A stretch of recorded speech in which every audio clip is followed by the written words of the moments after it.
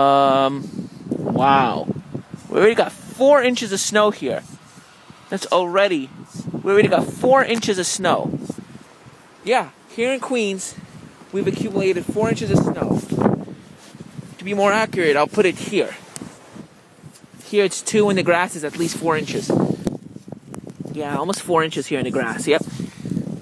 As you can see,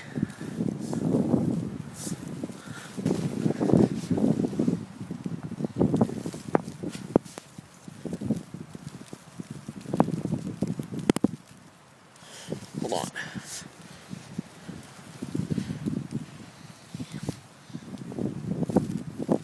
Roughly four inches of snow.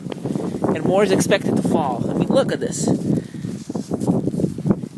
And the snow's going to last all